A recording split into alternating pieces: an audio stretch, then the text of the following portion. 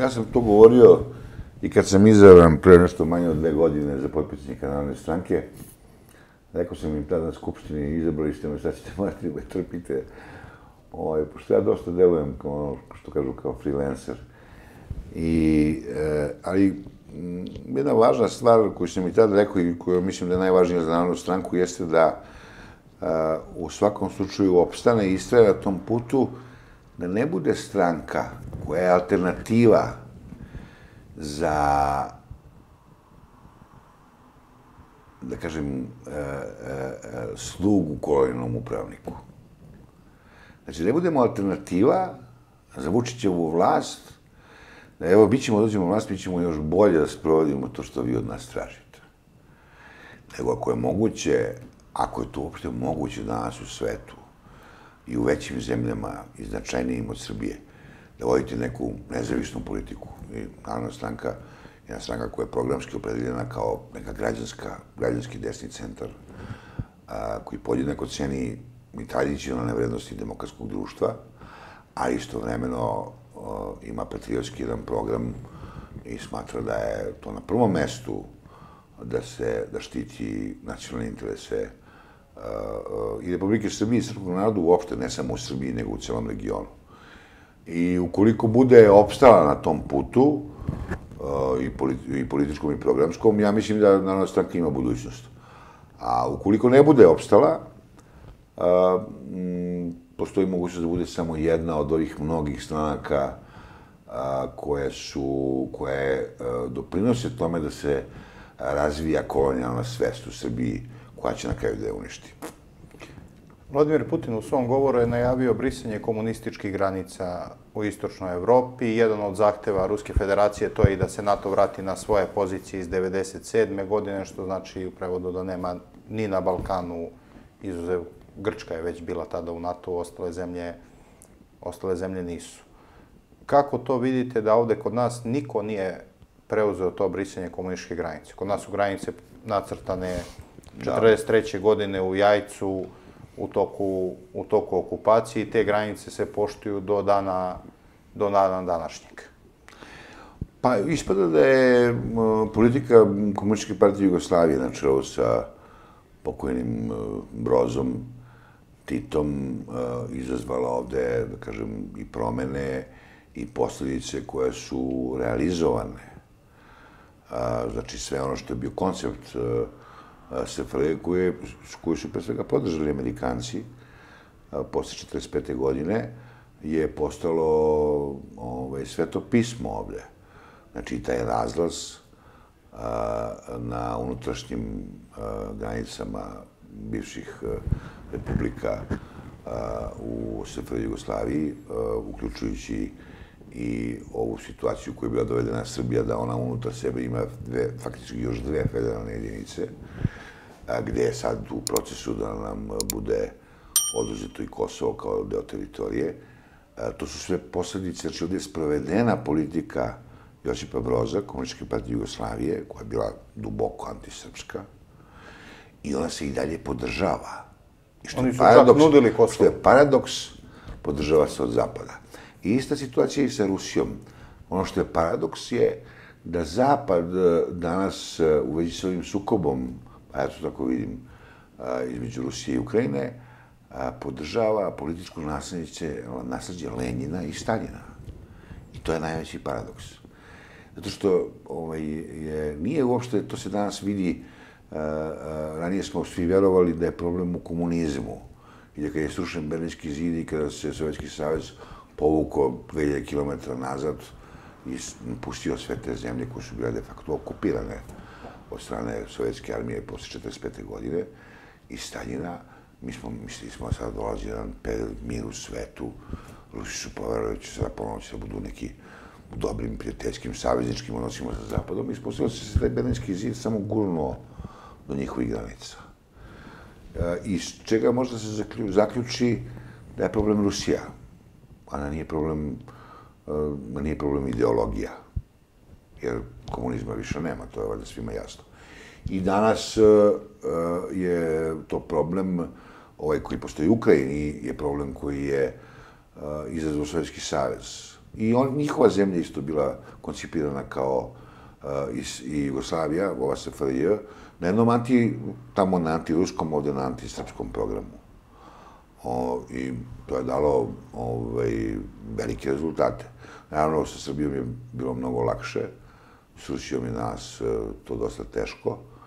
I ja mislim da je važno e, da i od ishoda tog rata e, u kome je najmanje protivnik Rusiji Ukrajina. Ja mislim da, ja mislim da Rusiji iskreno žale što su uopšte u ratu sa, sa ukrajinskim narodom.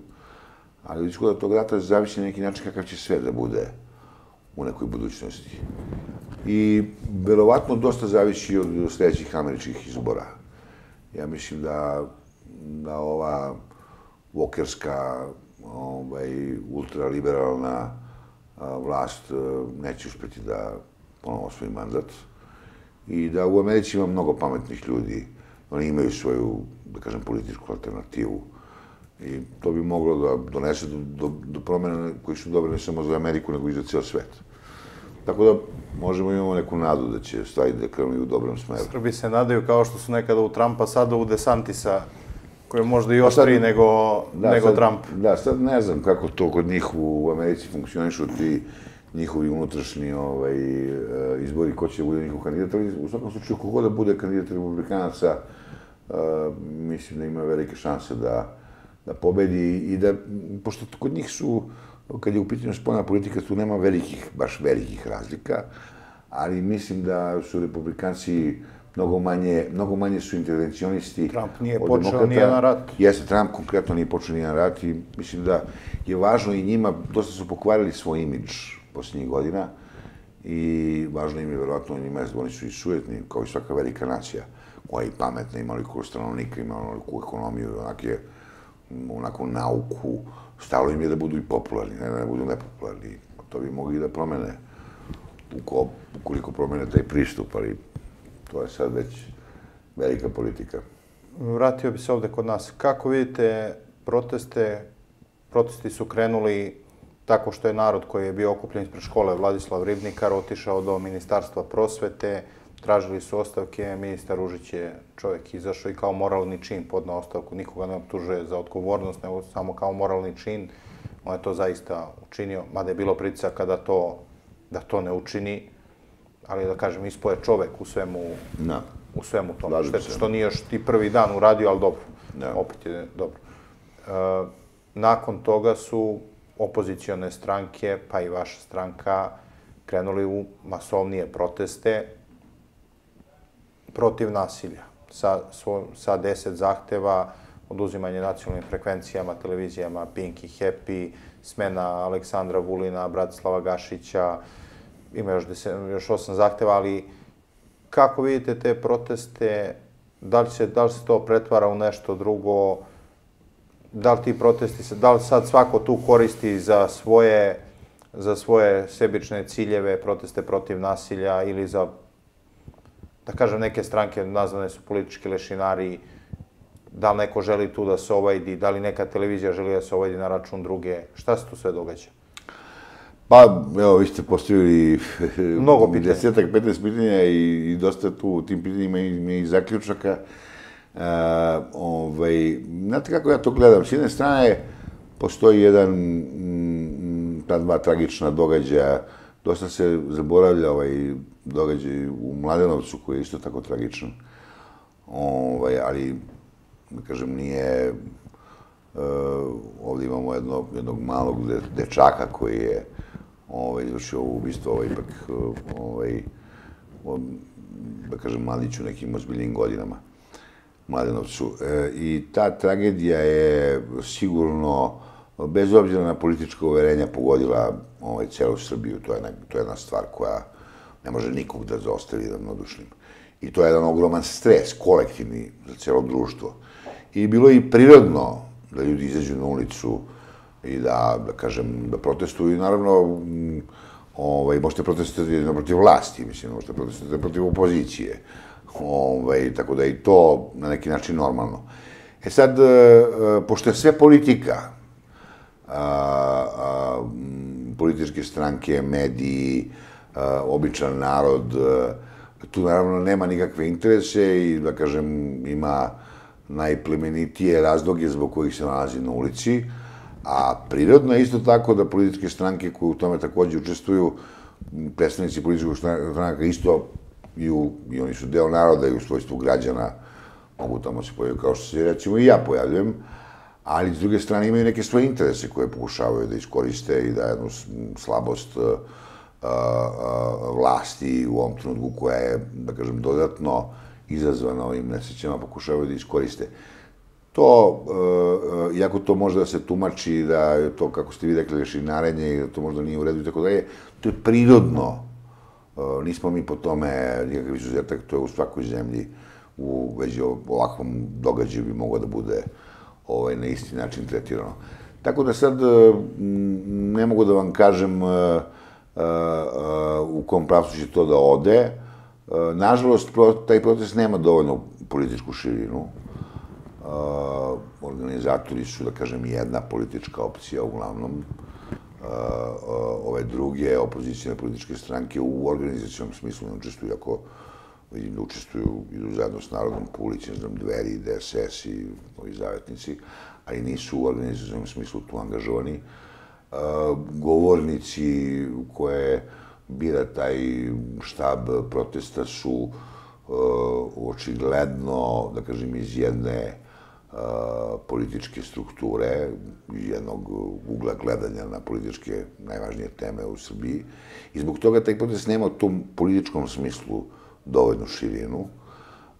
Ovdje ovo nije slična situacija kao, kao pred 5. oktobar, gde su se svi okupili, e, e, a bio je e, samo jedan protivnik. Ovdje je to dosta, ovaj, da kažem, delikatnije i malo ovaj, veća ovaj, smesa tih stvari koje se unutar te organizacije događaju. Tako da, onda imate te medije koji mm, na neki način deluje kao da diriguju tim protestima ovaj, i da neke stvari tamo su zabranjene. I to je nešto što se meni lično ne sviđa. Zabranjeno je pominjanje Kosova i Metohije, stradanje Srba van Beogradskog pašaluka. Pa, da ne kažem, zabranjeno je... Da, pa ne, mislim, to, to je zvanično, zvanično zabranjeno tamo. Jeste, to deluje, zbog toga to nema širinu. Ovaj, Skup je protiv nasilja, da, govornici moraju da se izjasne o Srebrenici iz 95. Jeste, u televizijskim emisijama ih se slušavaju kod da kod istražnog sudije u nekom krivičnom postupku. Tako da, mm, to je razlog zbog čega protest nema dovoljnu širinu, a bez te uh, najveće moguće širine, uh, ja mislim, nažalost, da ne može da postigne neke velike uspehe. Uh, ono što je mm, Ružić uradio, vi ste malo petoma pomenuli, to je, to je stvarno jedan, to se, to se inače zove u politici ministarska odgovornost. gdje on ima jednu objektivnu odgovornost koja ima veze, da kažem, sa nadležnošću njegovog ministarstva, on je podnao tu ostavku i ja sam nešto tako čuo da je tu bilo pritisak iz njegove stranke, iz vladajuće stranke da on to ne uradi i da je on, međutim, to preseku i ovako, ovaj, to je za poštovanje, ovaj, što je to ne na ni emotivan način preseku i uradio to što je uradio. Ovi drugi zahtjevi, odnosno nove druge pojedince, mislim da neće uraditi plodom, da Vučić te ustupke neće da napravi. Da napravi ustupke da otuzme nacionalnu frekvenciju i ovaj, Pinku i Happy, ovaj Happy manje više ili Pinku, pa to on, Vučić zna na osnovu čega se održava na vlasti. Mislim da on sam sebi osjeće nogu, mislim, to njega ne može da očekujemo. Može bude problem i happy zbog aktualnosti. Pa jeste, ali naravno, ali hoću da kažem, mislim da to, mi možemo, opozicija može da postavlja i nerealne zahtjeve, to nije zabranjeno. Ali mislim da ti zahtjevi, da on to neće ispuniti. E sad, e, e, da bi vi u ovom tonu koji je dan da su to mirni protesti protiv nasilja, da bi natrali vlast na neke ozbiljnije ustupke, Vi morate imate milion ljudi na ulici i morate imate Mahatmu Gandija, a još uvijek nemamo